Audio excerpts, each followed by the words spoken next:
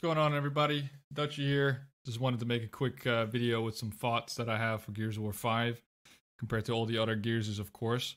Um, like you can see in the title of the video, uh, this video is about the discussion, the endless discussion we can have about two tunings or universal tuning. Now, I've been playing Gears since 2008 started in 2007 but really like got my own xbox with gears of war 2 and haven't really stopped from there i've taken some breaks here and there but i always come back to it because it's one of my favorite games um, so needless to say i've got a lot of experience with all the different tunings that I've been around over the world you know over the last uh, 12 years something like that and I've seen a lot of opinions and updates fly by, some of which good, most of them bad. on both things, opinions and updates. But I figured, you know, before Gears 5 comes out, before there's any news about the new tunings in Gears War 5, uh, or Gears 5, I should say, I wanted to just lay out my opinion uh, and my perspective on the Gears community, how they take, you know, how, how they, I guess, express themselves in terms of knowledge of the game, arguments, um, and just spread my thoughts on it and what my used to my my thoughts used to be basically because I thought about it this uh, you know over the last couple years, made some videos on it, talked about it in streams that I do, um, had some discussions on Twitter, but there's never really been a time or a place when I thought, you know, I got things figured out, reasonably figured out anyway. So, first off, let me just say that yes, in my opinion, a universal tuning would be better flat out. That's always the case in every game. You know, one single tuning. However, people like to bring up uh, that a universal tuning in Gears 4 has divided the community. And I disagree with that because, number one, in my opinion, the Gears community, ever since, you know, comp, I suppose, or, or GB game battles has been a thing, the community has been dividing itself uh, since then, and which was years ago. And not so much that the game told you that you're divided, but more just as a preference of playing. You see, when Gears 4 uh, came out, and we just came from Gears UE, when there was one tuning, um, people either liked it or they disliked it. So you had a crowd that would keep playing but disliked the tuning, uh, and you had a crowd that uh, liked it but didn't play either because they weren't skilled enough or they were bored with that game. And when Gears 4 came out, what TC said was that they put in two tunings to please both types of players the solo player, which is core, and the comp player, which is teamwork based, obviously, you know, less range for the shotgun, etc. You guys know the deal if you've played the game. Um, now, in the beginning, I was very much against all the preference that comp used to get. Uh, because in my opinion, they're still the minority, the absolute tiniest minority of the community in terms of players.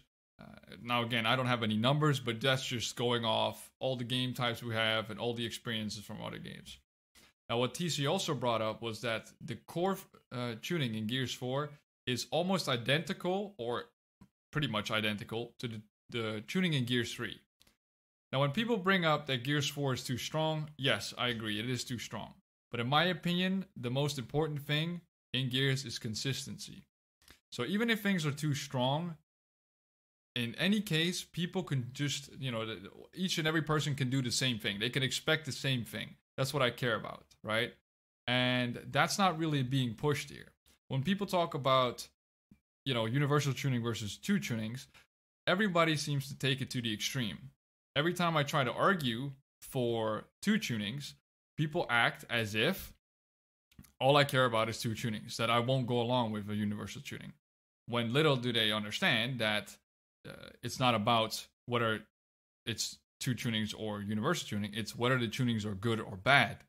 See, in my opinion, in Gears 4, the tunings are all over the place. You know, I, I'm sure in LAN, comp is way better than it is online. Sure. But the majority of players that play the game, first impression or not, first time players or not, they need to play the game online. It needs to work online as well. And the way it works with comp at the moment is there there's no, you know, lag compensation in quotations, right? Devs already confirmed there's no lag compensation. So what that means is basically whoever has the better connection wins. If two people shot at exactly the same time. Um, the problem with that is that that's an impossible scenario in most cases. Most people don't have, you know, the exact same connection or shoot at the same exact time. And in core, it's a lot more forgiving, right? Because the range is more, people can play for, you know, downs more, especially if you're a solo player. And I'm not talking about the 1%, the diamond fives of everybody. I'm talking about the grand, you know, everybody that's played the game, right? Whether you're good or bad at the game, in core, a two shot down is a two shot down. Sure, some people take shots more than others, but in the general sense, you could expect people to go down into 10 feet shots. Um, the problem comes is when the two tunings, if they go for two, two tunings in Gears 5, is they shouldn't different should be different night and day basically what they should be in my opinion is very close to the middle so say they take the four, gears 4 core tuning they put it in Gears 5 as the main tuning of the game for all the game modes. They tune down the damage just a little bit, right? Or increase the difficulty of using the guns, right? But then instead of making a whole different damage model for comp, they make the the quote unquote core tuning, for lack of uh, better words, um, they make it harder to use. Add more recoil to the guns. Add bigger spread as in more spreading of the bullets, right? When you blind fire with a lancer, make it more like Gears 1, where you basically can't lancer someone without aiming them, right? Unless they're ba- basically point blank, and if you don't have a lancer, then you're pretty much screwed. I mean, Gnasher, excuse me. Um, so if they're gonna do something like that, that that's why I've always advocated, like, yeah, okay, if TSC is gonna push for two tunings, then make them both good. But what they've kept doing is you know, push one to its absolute limit. And hey, Gears 4 is over, so whatever now. But in the past, it was very frustrating to deal with. TC would bring changes to core, like the hammer burst buff that they made, that they left in the game for a good, I don't know, six months or something. It was enormous. And it pushed so many people away because ultimately, what people are always going to do is play the way to win, right? And in Gears 3, this is what happened. Uh, the game came out, game came out with retros and sawn off as starting weapons, right? And the majority of the community, and I mean the people who already played the game multiplayer wise and not just played the campaign and horde and then dumped the game again, um, they basically uh, uh, told everybody that played retro and sawn off that they were complete dog shit at the game. Excuse my French, but that's what they did, right? And as the time as time went on, um, people got more and more used to not playing with retros when you spawn in, not playing with sawn-offs as you spawn in. The the community itself divided itself by using guns, but then ultimately because everybody disliked people who use those guns, uh, people that did eventually had to just get along with the rest or quit the game. So after a while, when you were playing against good, you know, OG players, you wouldn't see those things in the game. You wouldn't see people running around with Lancer, uh, uh retro, sorry, and hiding with uh, off because number one, it was boring. Number two, is inefficient as a team uh, um, teammate. Sure, the retro was overpowered, but having a sawn off instead of a Gnasher, if you don't need it, don't use it, basically, right? But as the game kind of died, especially in Europe, because that's where I'm from, um, me as a streamer, I had to start playing with people in the States, uh, Mexico, Spain, just anyone I could get my hands on just to get into a ranked game of TDM or King of the Hill, because pretty much everything else was dead. Mind you, ranked in Europe has always been nothing compared to the United States. Um, but what happened in the last, I would say, year and a half before uh, Ultimate Edition released, every single player that wanted to win would literally run retro they would not care anymore about the standard of what people played as. They would just run retro just to win. They didn't care about playing the game for fun. They would just want to win and get people to quit.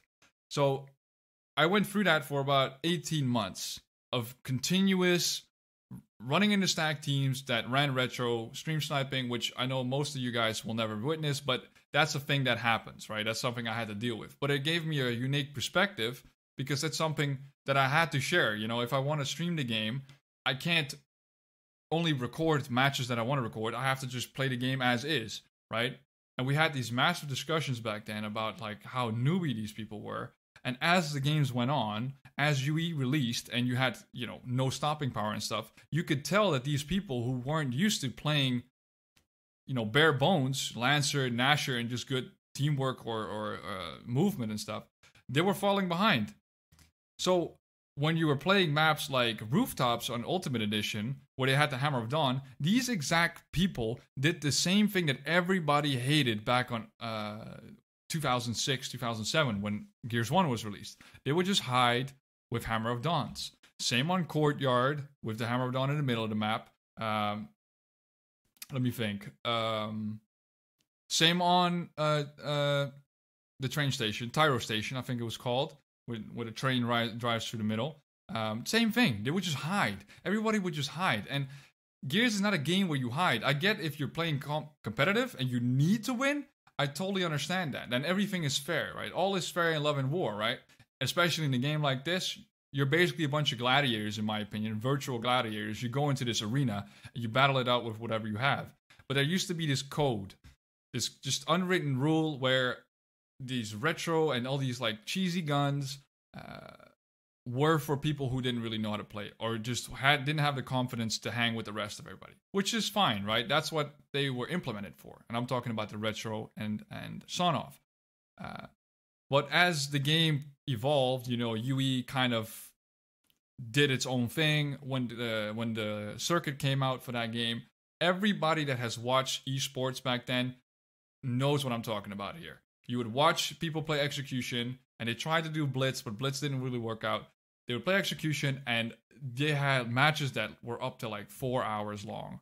You know, because these people knew the game so well, they knew that if they did anything that was a bit too risky at that point, they would just lose the round or potentially lose the tournament.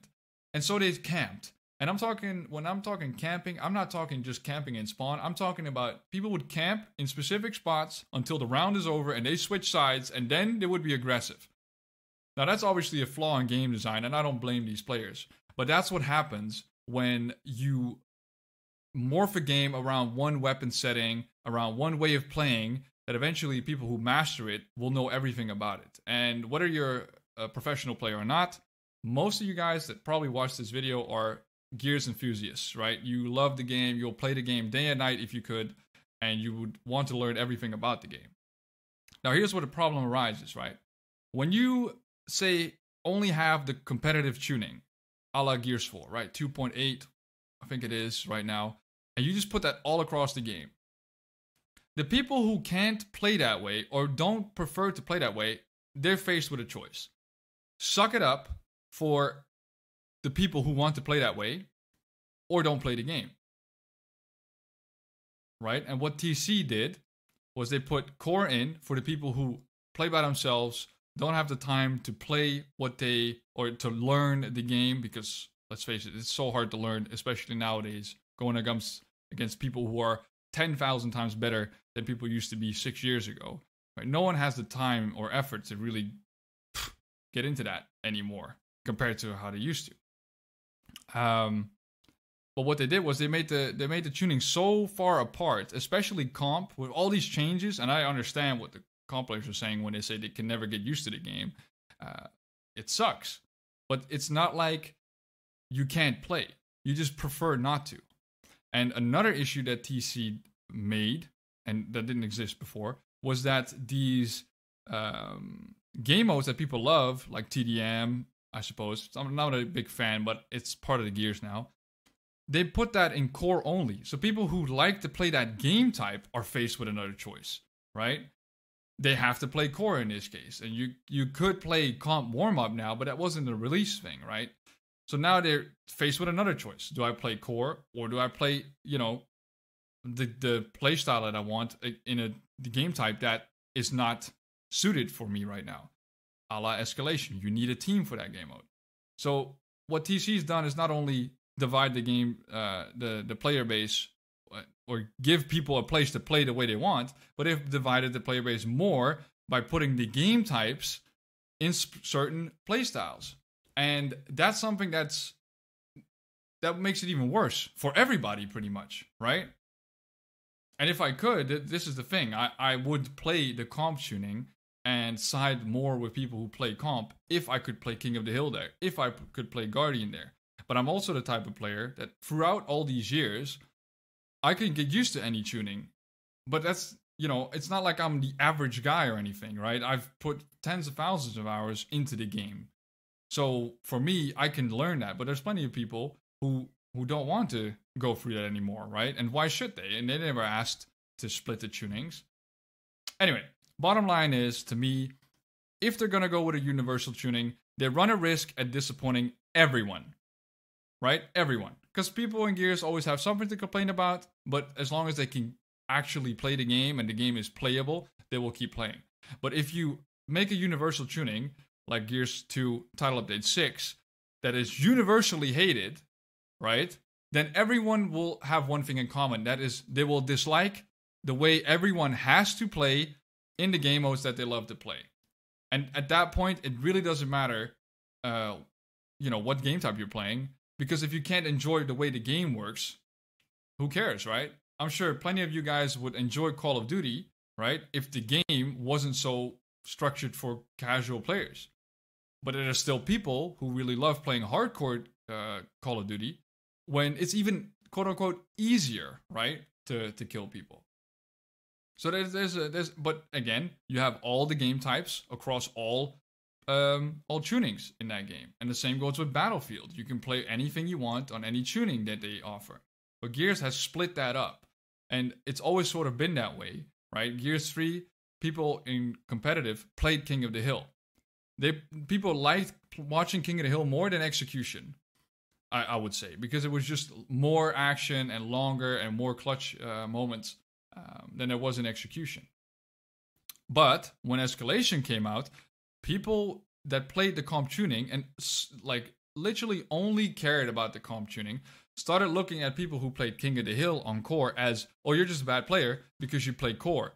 But that's not the case. These people have to play, and I have to play King of the Hill because that's I have to play core. I mean, because that's where King of the Hill is. So I never had a choice. And it's not like TC is stupid and doesn't realize like, uh, you know, we could have made it comp as well.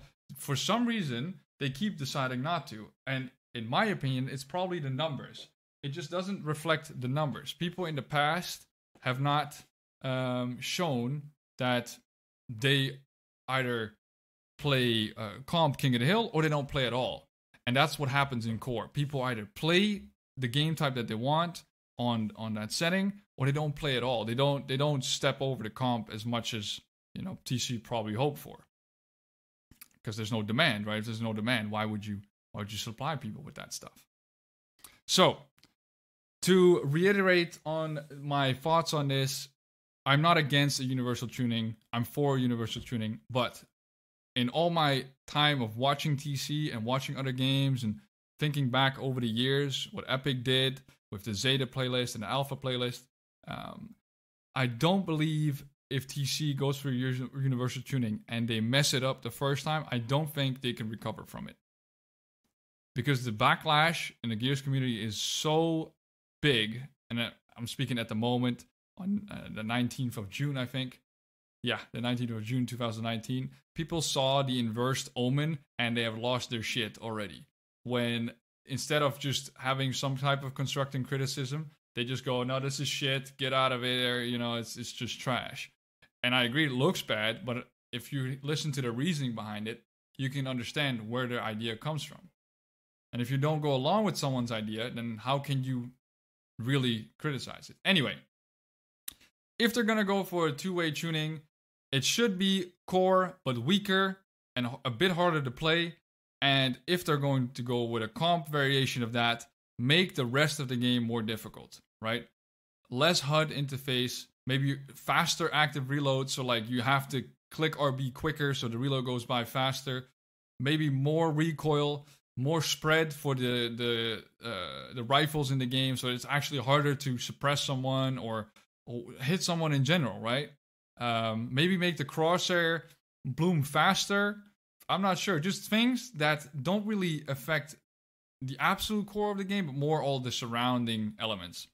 Um, what they did in 2.8 with the health recovery system, it's it's weird because it's inconsistent. Everybody knows the red ring that you get. The omen is inconsistent. Uh, sometimes you're full red, you can still take bullets. Sometimes you are not damaged at all, and then you know you go down across the map when that really shouldn't have happened. It's it's crazy how that works. Um, what I'm hoping for in Gears 5, of course, is that whatever tuning they go for, they stand by it, and if there's a problem with it, that it's it's it's um, it's adjustable. It's not something where they don't know where it came from, right? And in terms of one of the most important things for me when it comes to the verses is the net code. And if you don't know what netcode is, I highly suggest you look it up. I could probably put a link in the description if you enjoy that type of thing. It's not as complicated as it sounds, but it's basically how the game uh, processes your information of the game versus uh, the other players. And in Gears, it's notoriously been really bad when you look back at the past. Um, you know, hitbox issues aside, but especially just the internet and stuff. The internet's gotten a lot better over the years, but there's still a lot of hurdles that TC has to jump over before they get it right. And let me get this straight with you guys. Every developer is struggling with this, right? Apex Legends struggles with this. Battlefield struggles with this. CSGO still struggles with this. It's never really perfect, but it needs to work to an extent where the majority of people, again, whether you're a great player or a bad player, it needs to work. A point blank shotgun that should kill someone should work 9 out of 10 times. And right now with Gears, it feels like it's a to- coin toss, especially on comp where the best players in the world, you can watch them and they will not miss a single pellet because that's how good they are. And they will hit someone three, four times and everyone will say, What the hell's going on? And they just turn around and get headshotted from 15 feet or something. Right? That's not a good thing to have something like that. That's like playing a fighting game and you do a certain set of moves that you know does a certain percentage of damage, but then when you need it to matter, the game gives you 5% less damage and the guy counters you and you die instantly. Right? That's not a that's not a thing. That's not that should never be an aspect of the game that people should learn. All right. So, that was a good 22 minutes of ranting right there. Um as always guys, thank you very much for listening if you made it this far. Um, if you did enjoy it, make sure you leave a like, share with your friends. It really, really helps. And of course, subscribe if you haven't already, man, because there's lots of videos coming in the future. Uh, if you enjoyed this type of discussion, feel free to always join me. I'm always live these weeks on twitch.tv forward slash Dutchonidas. And uh, yeah, man, check out the rest of the links below, and I'll see you next time, all right? Have a great day. Peace out.